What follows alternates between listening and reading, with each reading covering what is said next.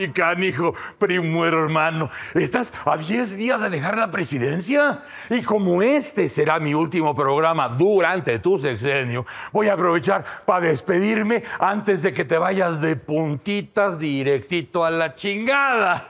Te juro y te lo digo de coraza. Andrés, te lo digo en serio. Hubiera sido un placer despedirme de ti diciéndote, carajo, Andrés.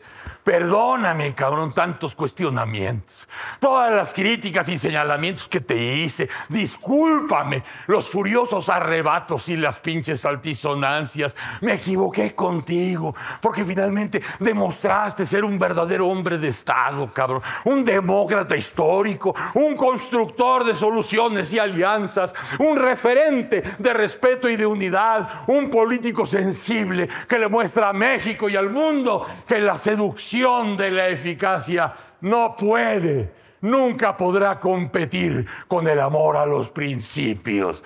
Pero pues ni pedo, primo hermano, pues no. No, pues perdóname, o sea, no, ni, o sea, ni, ni, ni me disculpo, ni me desdigo, ¿no? Esta despedida no puede ser así. Porque antes, al contrario, lograste pasar a la historia, Andrés, como el peor presidente que yo recuerde.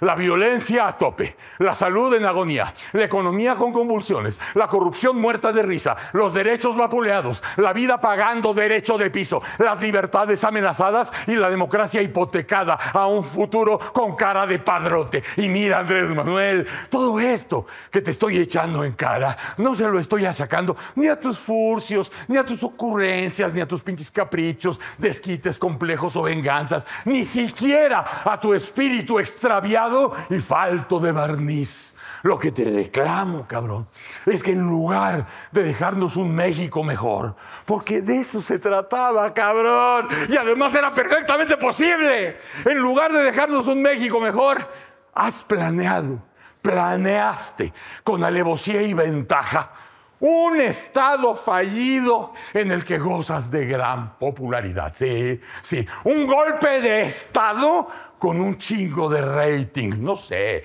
no sé, ya lo sabremos. Pero hoy no sé a qué intereses les respondes o con qué chingadas agendas globalistas estás entrepiernado para que tú y tu secta celebren como un éxito transformador un país ensangrentado, un país de un solo hombre, sin garantías ni contrapesos, abrazando a narcos y enriqueciendo a generales. Un Estado fallido con rating Andrés Manuel de mis entrepiernas.